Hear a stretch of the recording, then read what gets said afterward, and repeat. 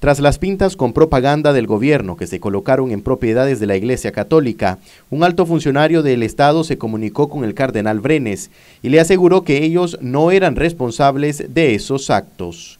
Bueno, por parte del gobierno nos han dicho que esto no es una acción de ellos, sino que puede ser de otras personas, que yo no quiero culpar a nadie porque no me consta y como te digo, actos que se hagan en la oscuridad de la noche, uno pues verdaderamente no puede decir viene de esto, viene, pero venga de donde venga, es condenable esta acción. ¿Con quién el gobierno se ha comunicado, cardenal, para escuchar esto de parte de ellos?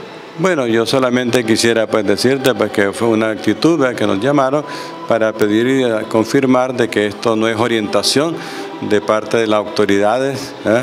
sino que puede ser no se sabe de quién, ¿verdad? Por eso yo personalmente, desde mi actitud de pastor, pues no puedo yo señalar cuando no me constan eh, qué persona, qué grupo puede haber hecho, solamente pienso sí que son alguna persona fanática que quiere ganar puntos o que por otro lado quiere crear una confrontación con la iglesia, con, también con otros grupos políticos. Estas declaraciones fueron brindadas tras el primer Via Crucis de Cuaresma realizado en la Catedral de Managua. Hemos celebrado este ejercicio del Santo Via Crucis, que es parte de este ambiente espiritual que nosotros, de manera especial los nicaragüenses, vivimos para vivir este tiempo de Cuaresma, tiempo de oración, y hoy pues hemos meditado las 14 estaciones en los cuales podemos ver esos momentos de la pasión del Señor hasta el momento de la crucifixión.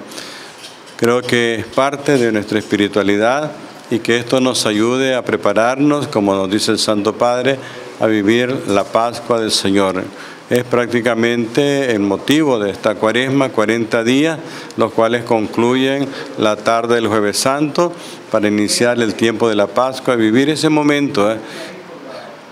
Cuaresma es un caminar hacia la Pascua en el cual nos encontramos con Cristo que ha vencido a la muerte. Cristo ha resucitado. Así que los invito pues, a que sigamos viviendo estos 37 días que todavía nos faltan para terminar este tiempo cuaresmal Marcos Medina, Noticias 12.